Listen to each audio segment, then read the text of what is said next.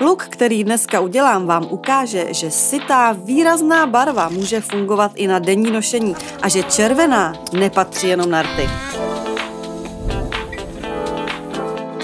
Málo kdy začínám bez toho, abych modelce alespoň lehce hydratovala pleť a ani tentokrát to není výjimka. Klárka má krásnou pleť, není vůbec potřeba ji schovávat pod vrstvou make-upu, takže jsem vybrala Superstay Skin Tint. Je hodně lehoučký, má třpitivé částečky, takže pleť ještě víc rozáří. Já pracuji štěcem, protože to mám takhle nejraději, ale můžete houbičkou, prsty, jakkoliv. Hlavně nezapomeňte i na krk, jinak ale vycházím hlavně ze středu obličeje směrem do stran. Další použiju korektor v barvě pleti. Může být malinko světlejší, ale ne o moc, ať neudělá šedé kruhy pod očima. Zapracovávám prsty pro úplně neviditelný přechod. Malinko dám ještě na nos, pod nos, na bradu a malinko i do středu čela. Tak si prosvětlím střed obličeje a bude vypadat plastičtěji. Klárka má úplně dokonalé obočí, mohla by sloužit jako vzor, takže tady jsem celkem bez práce. Pro ty, kdo takové štěstí nemají, bych chtěla ukázat Build a Brow. Je to skutečně precizní fixa, která má úplně tenký hrot a umí vykreslit opravdu jeden chloupek vedle druhého. Můj tip je před aplikací protřepat. Fixa potom líp píše. Ukážu vám to tady jen na pár místech.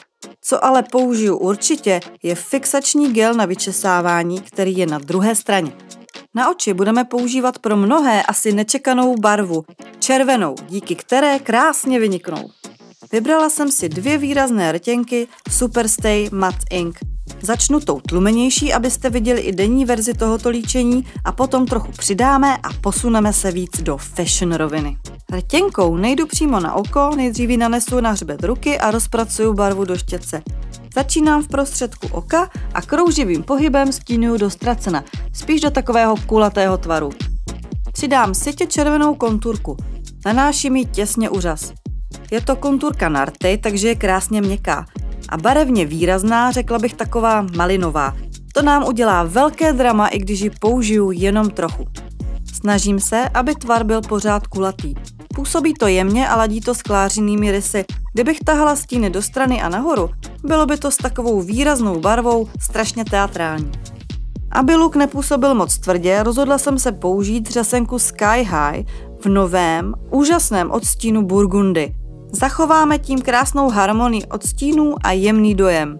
Tady vám můžu dát svůj make-up artist trik. Nanesu řasenku a potom podložím řasy prstem, než zaschne. Řasy pak drží líp tvar a nepadají dolů pod tíhou řasenky. Zaschnou v podstatě ve tvaru, který držím. Spodní řasy nedělám, bylo by to moc panenkovský. Jako poslední krok denního luku rozjasním pleť highlighterem na lícních kostech, na víčkách a na rtu. Kdo chce se mnou ještě zůstat na fashion verzi, tak teď uvidí, jak přidávám druhou barvu. Tahle má studenější odstín, opravdu výrazný až křiklavý. Zase si ho dám na ruku a štětečkem aplikuju na střed pohyblivého víčka. Neroztahuji ho až k obočí. Dokud mám na ruce ještě zbytky barvy, sladím celý luk tím, že ji přidám i velkým štětcem na tváře a menším na rty. Konturu rtu neřeším, spíš naopak dělám takový blurry, rozostřený dojem. Na závěr pár míst lehce zmatním, tím nám vyniknou lesky jenom tam, kde je chceme. Kdo by čekal, že rudá barva může vypadat skvěle i jinde než na rtech? Já říkám pořád, že pravidla se můžou porušovat, když to děláte dobře. OMW, on my way to you. Good at what I do. I'm OMW.